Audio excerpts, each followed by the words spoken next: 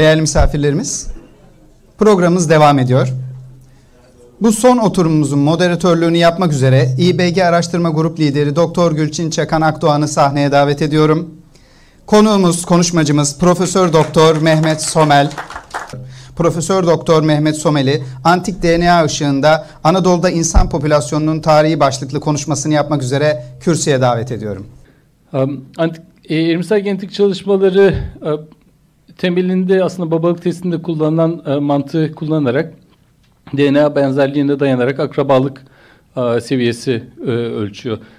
Bu tip e, çalışmaları zaten gündelik hayatımızdan e, biliyoruz. E, akrabalar e, ne kadar yakın akrabalarsa DNA'ları o kadar fazla benziyor. Dolayısıyla akrabalık seviyelerini bilmediğimiz bireyler arasındaki akrabalık seviyesinde DNA benzerliğine bakarak ölçebiliyoruz. Aynı şeyi türler arasında da yapabiliyoruz. Yine bu çalışmalar sayesinde 20. yüzyılın ikinci yarısında e, işte insanın en yakın akrabasının e, anatomik olarak tahmin edildiği gibi şempanzeler olduğu net biçimde ortaya çıkmıştı. DNA'mız yalnızca yüzde bir fark gösteriyor şempanzelerle. Başka primatlarla daha fazla fark gösteriyor vesaire. Peki bu tip çalışmaları insanın yakın tarihi, insan popülasyonlarının ne kadar farklılaştığını anlamak için kullanabilir miyiz? İnsanda örneğin genetik olarak ırklar tarif edilebilir mi? Bu yılki işte Nobel ödülünün konusu olan çalışmalar bir yerinden bu konuyla da yani insan insan grupları için, modern insan grupları içindeki genetik çeşitlilik'e de değiniyordu ve e, Svante Pääbo'nun da bu alanda da katkıları var. Şimdi biraz geriye gidelim. 20. yüzyılın başında bu soruya dair yani insan grupları neden nasıl farklılaştı sorusuna dair e, yaygın kabul gören e, model e, çok bölgelik hipotezi diye adlandırılan modeldi. Bu fikre göre insan grupları modern Homo sapiens'in ataları Afrika'dan çok uzun zaman önce bir iki milyon yıl önce belki çıktılar. Dünyanın farklı yerlerine yayıldılar. İşte kimisi Avrupa'ya gitti, orada Neandertallaştı ve bugünün Avrupaları da Neandertalların torunları. İşte kimisi kimi Erectus grupları Doğu Asya'ya gitti. Pekin adamı fosilleri bunlara ait. E, bugünün işte e, Çinlileri de onların çocukları vesaire. Bu fikir e, çok yaygın kabul görüyordu. Tabii o dönemin ırkçı e, fikirleriyle, sömürgecilikle ilişkili olan ırkçı fikirlerle de çok çok nasıl diyeyim onunla uyum, uyumluydu. Çünkü insan gruplarının çok farklı olduğu, çok farklı tabiatlar olduğu e, fikri işte ırkçılığı meşrulaştırmak için de tabii kullanılıyordu. Öte yandan 20. yüzyılın ikinci yarısında hem arkeolojik veriler hem de genetik veriler bunu, e, sor, bunu sorgulanmasına yol açtı ve e, Afrika'dan çıkış hipotezi veya modeli e, denilen daha farklı bir e, şey senaryo e, incelenmeye başlandı. Bu senaryoya göre e, insan e, grupları modern insan grupları başka homininlerle, e, akrabanız homininlerle beraber Afrika'da evrildiler ama o homininler, hominin grupları işte Neandertallar ya da e, Pekin adamı denilen Homo erectuslar e, daha önce Afrika'dan ayrılıp Avrasya'ya yayılırken bizim atalarımız çok daha yakın zaman önce 50 ila 100 bin yıl önce Afrika'dan ayrılıp Avrasya'ya yayıldılar. Kimisi de Afrika'da kaldı tabii. Eğer bu geçerliyse tabii Afrika dışında yaşayan grupların hepsinin genetik çeşitliliğinin Afrika'nın genetik çeşitliliğinin bir alt kümesi olmasını bekleriz. Aynı zamanda insan e, gruplarının genetik olarak birbirlerine çok benzer olmasını bekleriz. Ve e, 80'lerde e, yapılabilir hale gelen işte e, moleküler genetik e, çalışmalarla, karşılaştırmalarla da bu e, ikinci model Afrika'dan çıkış modeli güçlü biçimde desteklenmeye e, başlandı. Bu o yönde yapılan ilk çalışmalardan bir tanesi bir mitokondriyal DNA ağacı görüyorsunuz. Mitokondriyal DNA sırf anneden aktarılan e, bir DNA ama yine de genetik akrabalığa dair e, fikir veriyor ve burada işte çeşitli Afrikalı bireyler ve Avrupalı bireylerin akrabalık ilişkilerini görüyorsunuz. Net olarak ağacın bize söylediği Avrupalılar Afrikalıların bir alt dalı. Yani Avrupalılarla Afrikalılar bu şekilde iki ayrı gruba e, grup şeklinde kümelenmiyorlar. E, Avrupalılar Afrikalıların bir alt dalı ve e, bu çalışma tabii 30 sene önce de kaldı ama sonradan yapılan tüm genom çalışmaları da bu tabloyu net olarak destekledi. Dolayısıyla bugün hem arkeolojik veriden hem genetik veriden e, insan gruplarının yaklaşık 200-300 bin yıl önce e, ilk olarak Afrika'da evrildiğini sonra bunların bir kısmının Afrika içinde göçlerle Orta Doğu'ya e, bizim coğrafyamıza geçtiğini buradan da dünyanın geri kalanına yayıldığını bir kısmına Avustralya'ya bir kısmına Amerikalara yayıldığını bunların hepsinin de son 100 bin sene içinde olduğunu yaklaşık olarak biliyoruz. E, ama burada ilginç şey hala cevaplanmamış bir soru e, bu senaryo içinde. Afrika'da daha önce çıkmış ve bize çok yakın e, akraba olan hominilerle ilişkimiz. E, fosil kaydından e, yaklaşık 200 yıldır biliyoruz ki e, Batı Avrasya'da, e, Anadolu'da dahil e, bizden önce Homo modern Homo sapiens gelmeden önce yaşayan bir başka grup vardı Neandertallar. Bize şey anatomik olarak e, çok benziyorlar, e, alet yapıyorlar, ateş kullanıyorlar vesaire ama tam da iskelet yapılarına bakıldığında tam da aynı değiller, kimi farklılıkları var. Ve bunların e, fosil kaydında izi 30 yaklaşık 30 bin yıl önce sona eriyor. 30 bin yıl önce e, nesilleri tükenmiş gibi. Dediğim gibi bize e, çok benzerler. Davranış olarak da bayağı benzer olduklarını tahmin ediyoruz ama tabii ayrıntılar hala tartışılıyor, hala veri toplanmaya devam ediyor. İşte e, Svante Pebo'nun bu yine bu sene tıp Nobel'den ödülünü alan arkadaşın yaptığı başlıca çalışmalardan bir tanesi e, antik DNA protokollerini geliştirerek ve o zamanın teknolojisiyle işte 80'lerde 90'larda bu tip çalışmalar tek tek moleküllerin bir kemikten DNA izole edilip antik bir kemikten e, ya da dişten DNA izole edilip tek bir molekülün çoğaltılması işte PCR'la ve e, tek bir molekülün dizilenmesine dayanıyordu. Dolayısıyla çok az miktarda bilgi elde edebiliyorduk ve bayağı da meşakkatliydi bu deneyler. Kontaminasyon ciddi bir sorundu vesaire. İşte Swante ve ekibi de başka araştırmacılar da tabii bu bu e, protokolleri e, epey optimize ettiler 80'ler 90'lar boyunca ve e, 97'de Um, ilk defa uh, Neandertal bir Neandertal kemiğinden e, DNA izole edilebildi birkaç yüz baz ve e, mitokondriyal DNA yine anne soyundan gelen DNA ve bu yani, Neandertal DNA'sı insan ağacına e, ile birleştirildiğinde e, şu görüldü. Neandertallar diğer bütün modern insan gruplarının dışında duruyordu. Yani daha önce ayrılmış bir grup gibi duruyordu. Herhangi bir e, insan grubu Neandertal, modern insan grubu Neandertal mitokondriyal DNA'sı taşıyor gibi gözükmüyordu. Sonra yapılan çalışmalarda bunu destekledi. Bu da e, daha önce bahsettiğimiz hani Neandertallar Avrupalıların atalarıydı fikrini yine çürüten şeylerden biri. E, ama bu mitokondriyal DNA tabii çok sınırlı bilgi sunuyor. Mesela mitokondriyal DNA'nıza bakarak babanızla akrabanızı belirleyemeyiz. Sonuçta tüm genoma baktığımızda çok daha fazla akrabalığa dair çok daha fazla bilgi e, elde edebiliyoruz.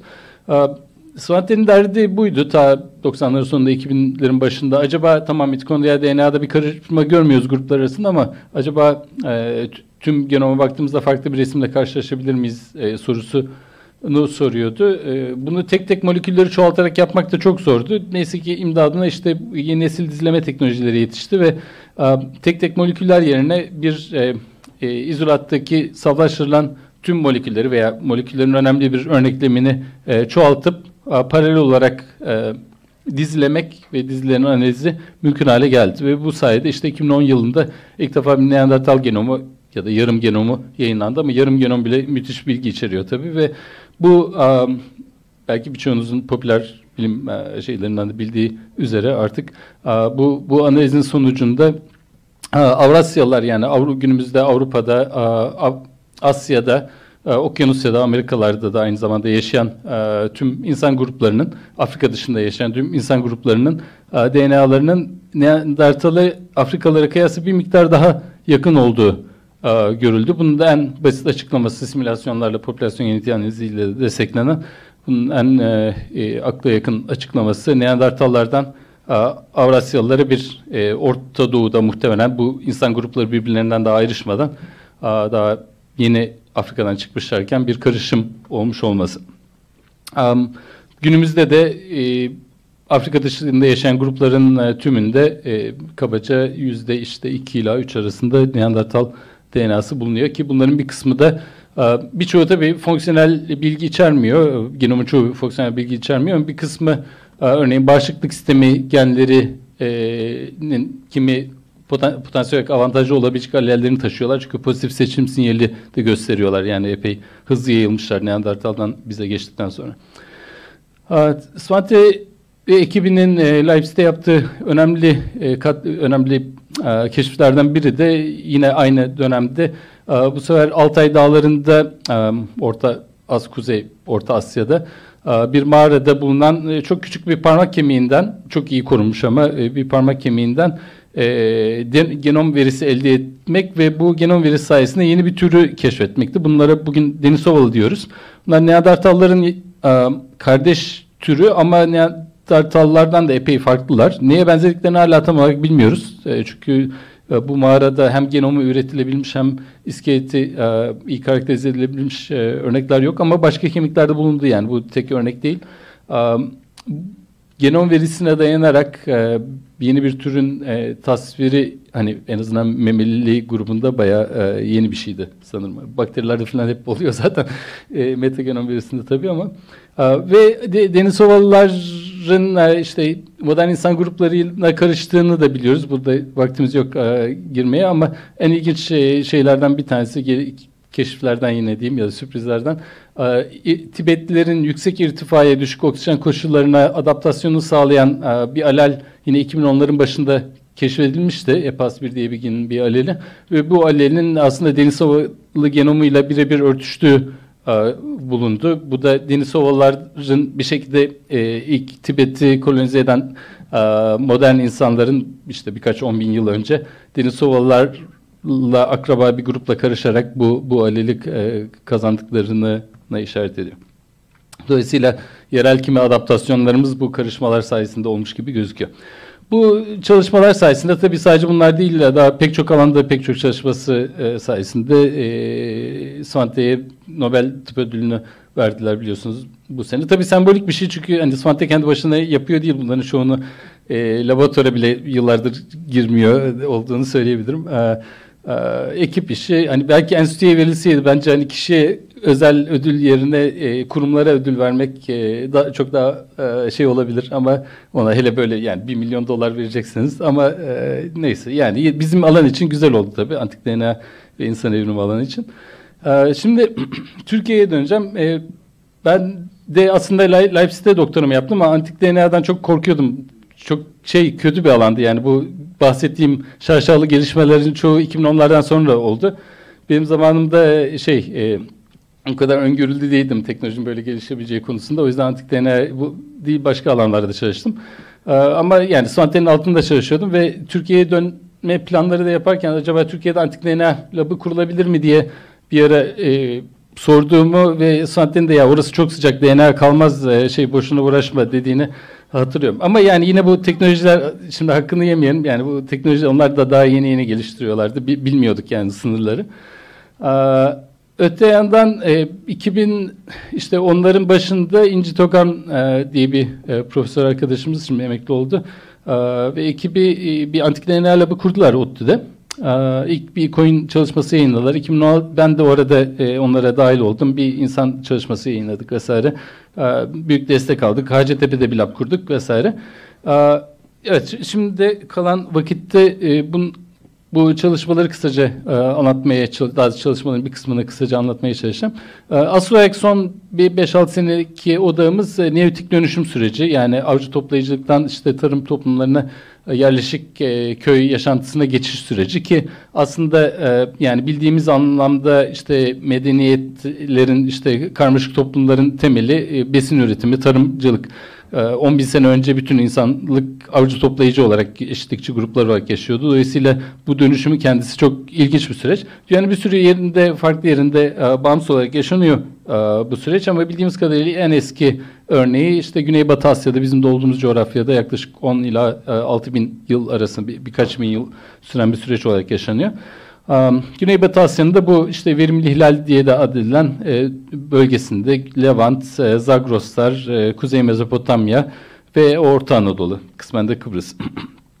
9000 yıldan sonra ve bu bölgede işte insan grupları yerleşik yaşama geçiyorlar, yeni teknolojiler, ritüeller üretiyorlar, çeşitli hayvanları, bitkileri evcilleşme denemelerinde bulunuyorlar. Bu hayvanların, bitkilerin, ritüellerin e, yer yer bölgesel kaldığını, yer yerde paylaşıldığını biliyoruz. E, hem e, şeyden materyal kültür verisinden ama bu değişimlerin bu paylaşımların ne kadar insan hareketi içerdiğini, insan hareketliliğinin ne seviyede olduğunu doğrudan ölçemiyoruz. İşte bunu ölçmek için genetik veri iyi bir kaynak doğrudan fikir verdiği için. şu anda yürüttüğümüz labın hani başlıca şeylerinden bir tanesi olan projenin aşıca çalışma konularından bir tanesi olan projenin ana a, hedefi de işte e, çok sayıda genom verisi üreterek bu dönemde Anadolu'dan aynı zamanda Batı Anadolu'da bu arada var. A, Neolitik dönem a, Anadolu'sundan insan hareketlerini, toplumların yapısını, akrabalık biçimlerini vesaire e, o dönemki toplumların anlamaya çalışmak. Şu ana kadar bin kadar insan iskeleti taradık. A, ecdadımız sağ olsun kemiklerini e, tozlaştırıp DNA e, çıkardık. Bunların birçoğunda DNA kalmamış oluyor tabi. E, ama bir kısmında DNA bulabiliyoruz. Yüzde toplam ürettiğimiz DNA moleküllerinin, e, dizilediğimiz DNA moleküllerinin genelde yüzde biri, ikisi, e, şanslıysak yüzde onu, yirmisi e, ama çok sefer yüzde sıfıra yakını e, insana ait oluyor. E, birçoğunu kullanamıyoruz. O e, üret şey incelediğimiz kemiklerin ama yaklaşık 200 kadarından kullanılabilir genomlar ürettik. Size de daha geçen cuma günü çıkan bir çalışmanın e, kısaca sonuçlarından bahsedeceğim. E, çalışmanın konusu e, Diyarbakır'da e, Çayın Tepesi isimli e, bir yerleşim. E, 60'lardan beri kazılıyor. Ünlü bir e, o zaman ünlü bir yerleşimde. E, yaklaşık 2500-3000 yıl iskan ediliyor. O açıdan ilginç bir yer. E, hiç durmadan iskan edilmiş olması biraz istisnai. Aynı zamanda çok dinamik bir kültür var. Burada görüyorsunuz sürekli şey mimari yapılarını değiştirmişler. Farklı e, ölü gömme ritüelleri var. İşte bir ara evlerin tabanına gömülüyorlar. Bir ara kafataslı bina denilen bir böyle kolektif e, mezarlıkları var vesaire. E, Birçok e, türün evcilleşme girişimini burada e, görüyoruz. E, koyun, domuz vesaire. E, muhtemelen buğday da bu civarda yine e, evcilleştiriliyor ilk. Evet, önemli bir yerleşim. Tabii tek yerleşim değil ama e, bölgede e, ilginç bir yer. İşte buradan bir e, ilk denememizde bir 30 kadar kemik parçasından DNA elde etmeyi denedik. 30 farklı bireyden. 13'ü çalıştı. Yani içinde az miktarda da olsa DNA vardı. Şurada oran olarak bu y ekseni oranı gösteriyor. Farklı örneklerdeki DNA insan DNA'sı oranını görüyorsunuz. Bayağı düşük yani şu yüzde bir demek. Çoğunda yüzde bir hatta yüzde birin bile altında vardı. Tabii bundan bunlardan kullanılabilir ölçüde bize bilgi verecek miktarda genetik veri elde etmek için inanılmaz e, şey miktarda dizleme yapmamız gerekiyor. E, ama şey de, değer e, değeceğini e, biliyorduk düşünüyorduk. Neyse ve ha belki şunu söyleyebilirim. E, bu çalışmayı yaptığımız sırada Mezopotamya'dan daha yayınlanmış o döneme ait hiçbir örnek yoktu. Sonra tam bizim çalışmayla eş zamanlı olarak Harvard'dan bir ekip bir e, bir başka e, Türkiye'nin güneydoğusundan bir başka yerden bir kemik e, DNA yayınladılar. E, ama şey yani yine de Mezopotamya'dan en büyük örneklemi üretmiş olduk. Yani şey ve zor, zor e, hava sıcaklığı arttıkça demin de dediğim gibi yani Suanten tamamen haksız değil de hava sıcaklığı arttıkça DNA e, korunması azalıyor. İşte Ezgi, deminki çalışmaları yapan Deniz arkadaşımız da Hacettepe'den Ezgi arka, Altınışık arkadaşımız da aynı zamanda sosyal medyada çok ünlüdür. Belki bir kısmınız takip ediyordur. Ben de şeyini fanlarını çoğaltayım Ezgi'nin.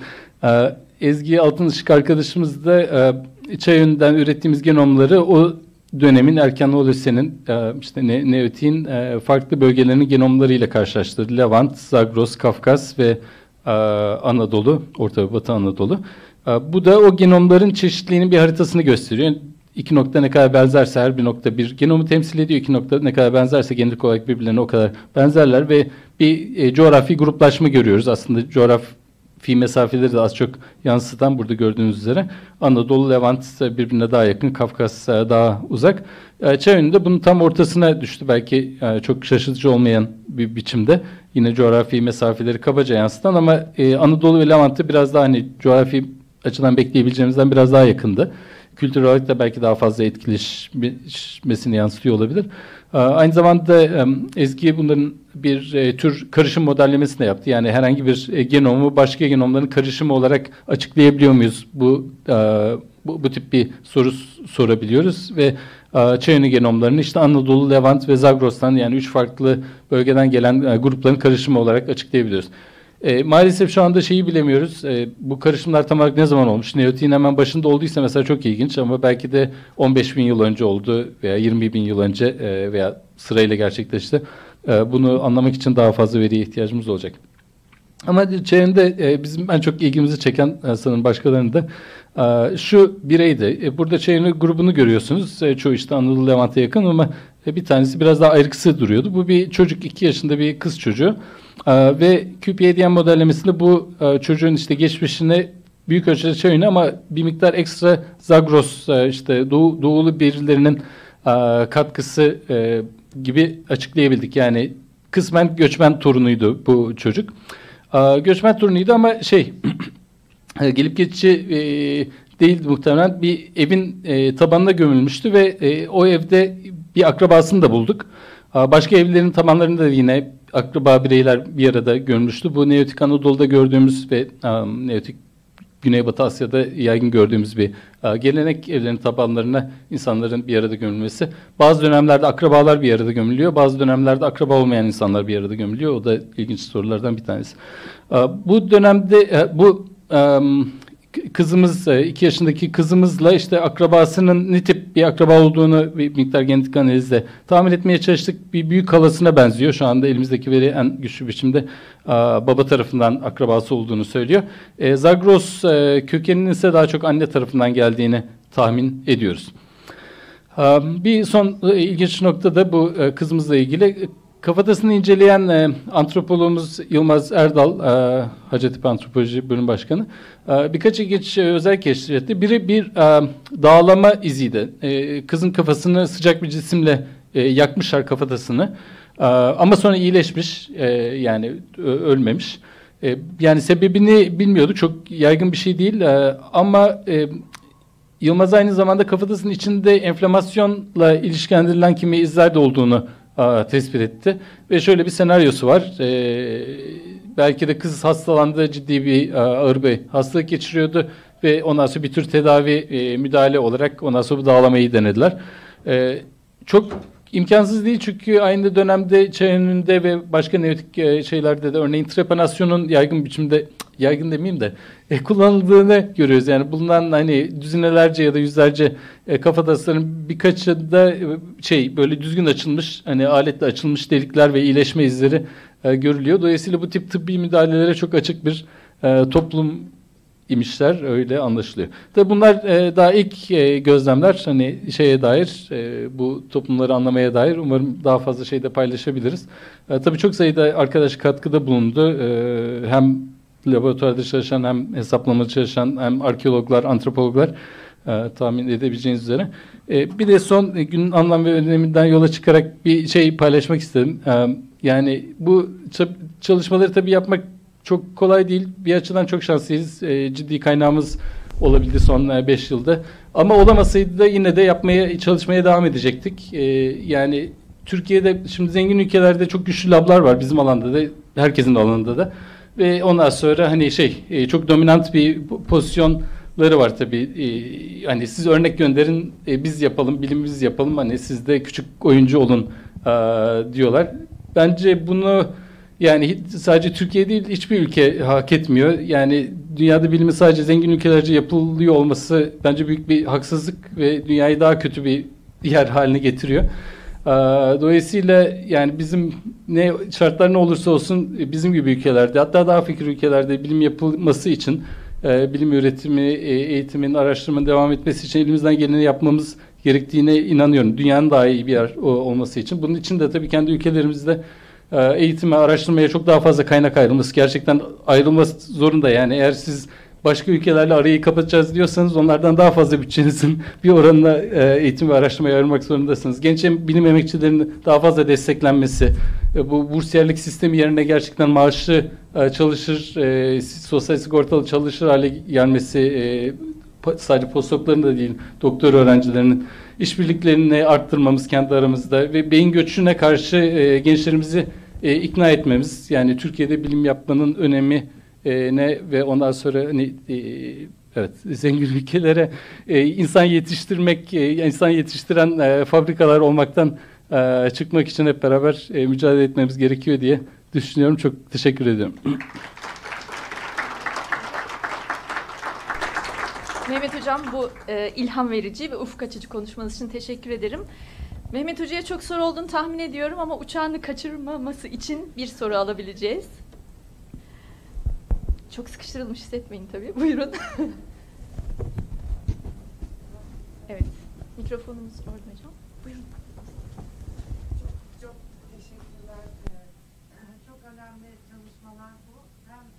Yani bulunduğumuz coğrafya için ee, şey bahsettin, Harvard'dan bir grup mu e, eş zamanlı bastı?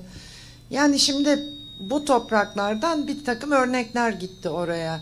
Ee, bunlar için bir takım düzenlemeler gerekmiyor mu? Ee, Aslında düzenleme var ama e, o grup o kadar agresif bir biçimde şey yapıyor ki yani e, sırf bunun için istihdam ettikleri biri var. E, bir Türkiye'li antropolog. E, kadının tek işi Türkiye'de kazıları gezip e, şey yapmak. E, arkeologlar işte size science makalesi basacağız. Hani sizin de isminiz olacak. Tabii akademik teşvik vesaire çeşitli şeyleri de var. Ondan sonra e, bize örneklerinizi yollayın. Bir de bizi kötülüyorlar. Hani arkeologlar da bilmeyebiliyor. Onları da tamamen suçlamıyorum ama bir açık mektup yayınladık e, bu olay üzerine aslında geçen ay Arkeofili diye bir dergide.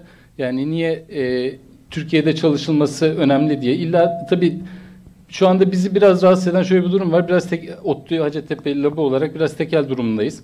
Aa, hani başka DNA, antik DNA labları da açılsın ki hani insanlar bizimle çalışmak istemiyorlarsa ama Türkiye'de başka yerlerde de çalışabilsinler e, istiyoruz. E, şey e, hani kimseyi illa bizimle çalışmaya zorlamak istemiyoruz ama Türkiye'de çalışılması, Türkiye'de ama bunun için de tabii Türkiye'li biyologların da bu konuda e, daha fazla evrimsel biyolog yetiştirmemiz, popülasyon genetikçisi yetiştirmemiz ve e, şey yani bu bu tip veri üretmeye, arkeologlarla, antropologlarla işbirliği yapmaya e, biyologlar olarak bizim de daha fazla bizim camiamızın da daha fazla girişken olması gerekiyor.